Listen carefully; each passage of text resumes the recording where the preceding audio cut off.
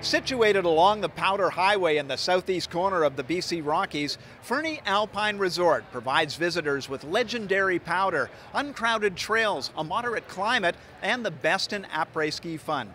And with over 30 feet of snow annually, Fernie actually boasts the most snow in the Canadian Rockies.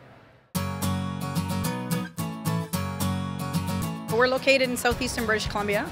We're actually closer to Calgary than we are to Vancouver. So most people would fly into Calgary International Airport, and from there we're either a three and a half hour drive just south and west through the Rockies.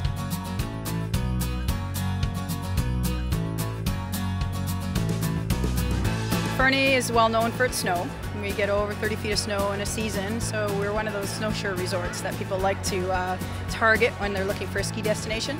But Fernie is, is a great mountain because it gives a lot of diversity of terrain for people. So whether they're learning, um, we have a great learning area with magic carpet and a pommel lift for those that are just learning, whether they're little kids or adults still learning to progression of all levels of skiing. So lower mountain really focuses on the beginner terrain and the green, groomed, beautiful runs, and then the big open bowls start to open up to great intermediate terrain, and the glades and steep and deeps really get into the, uh, the big advanced terrain that we have.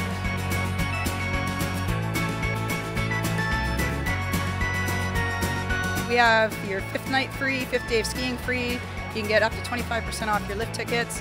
We have specials that if you come early in the season before Christmas, you can get your third night free. Uh, the kids ski free options as well. So we have lots of offers on right now and you can book up until November 30th.